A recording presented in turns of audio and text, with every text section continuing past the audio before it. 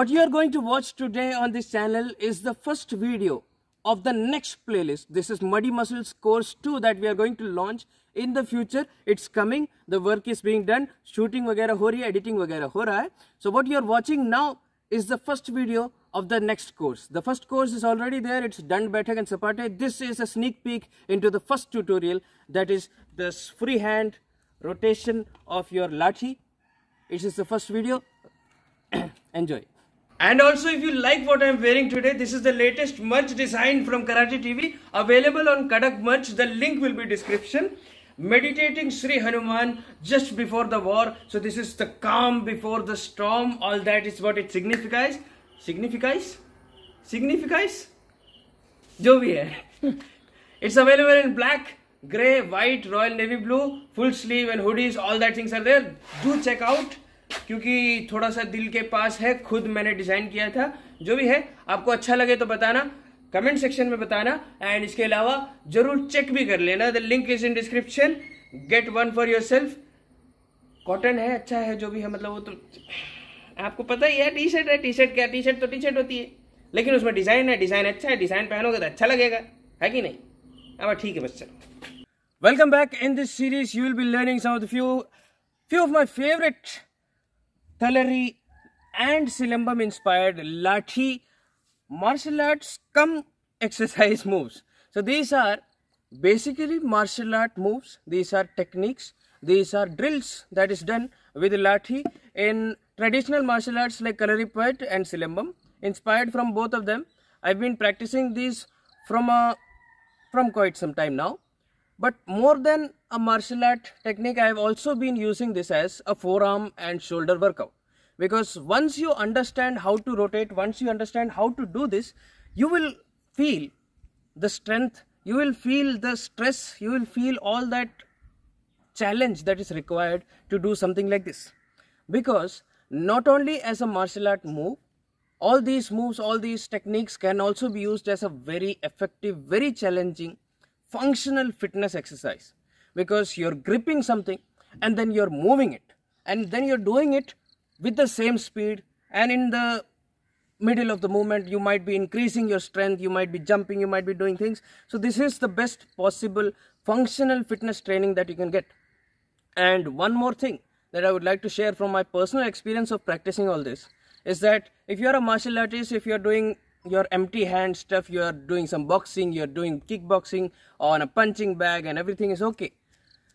No matter how silly you think this is once you start training with weapons you hold something in your hand and then you start training with it you will see your strength level will go to the next level. Because this, this is not exaggeration.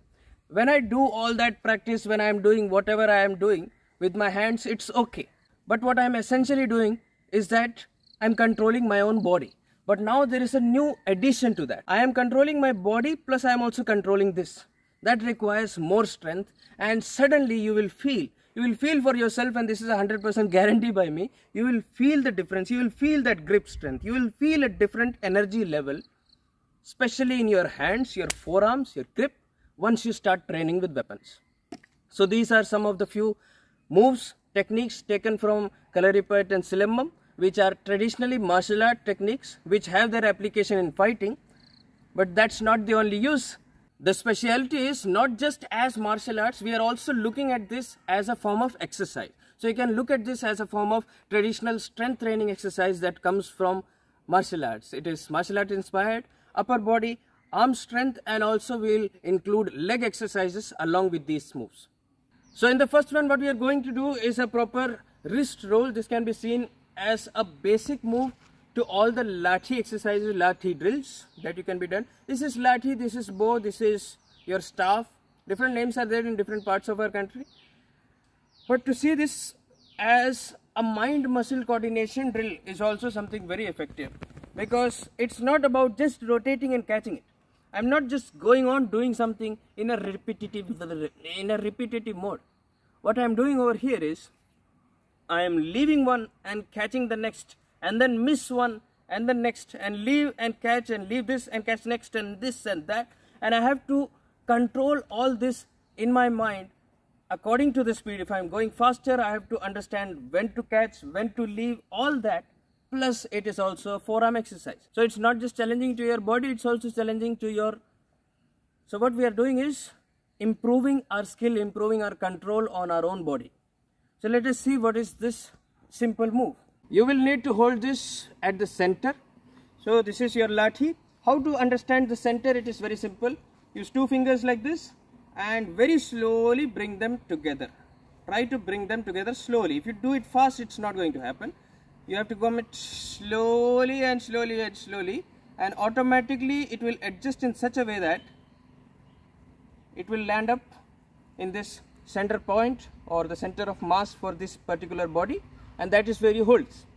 Now I'm going to hold it like this in such a way that my palm is facing down and then it's about rotating this clockwise. My clockwise would be this. This is how a clock moves.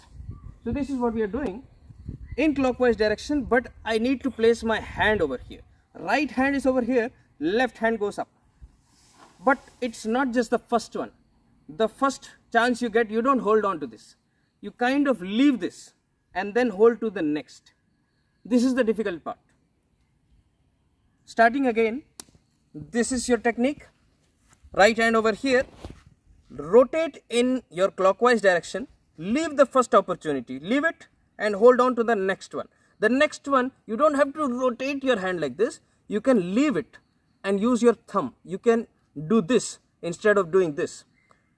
So over here, leave the first opportunity, grab the next one. And then what we do is continue this clockwise motion, leave the first opportunity, don't catch over here.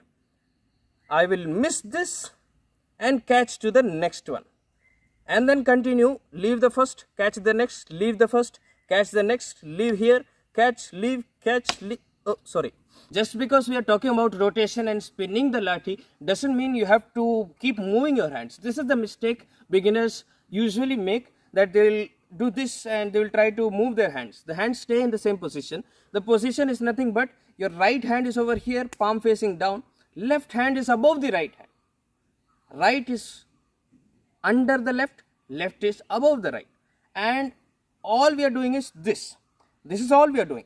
We are just using the shoulders, some part of your forearm, we are using the wrist, we are using the fingers, we are using the hands but not moving them. It's happening over here only, right stays over here, left stays over here and you can add the stick very simply, nothing but 1 and 2 and 3 and 4. If you forget about the lathi, if you forget about the lathi, it is very simply just this. This is all we are doing. But now there is a detail in this if I keep my left hand over my right hand over here and I rotate it like this clockwise direction, problem is here the first opportunity itself it hits my hand but this is not where I am supposed to hold it right? I'm not supposed to do this. I'm supposed to leave this and hold on to the next. So that calculation you have to do yourself. You have to place your hand in such a way that the first one you miss and the next one you hold. Also see it is not to be done like this it's difficult to hold over here. Let your thumb be in this position so that when you open up you can kind of get something like this. Ye kabutar ja ja ja is the kind of position we need. So you're here palm facing down left above right. Miss the first opportunity hold on to the next one. And now continuing the motion in clockwise direction go down. Miss the first opportunity that is what i told. Don't keep it like this Keep it like this. Miss the first opportunity, hold on to the next.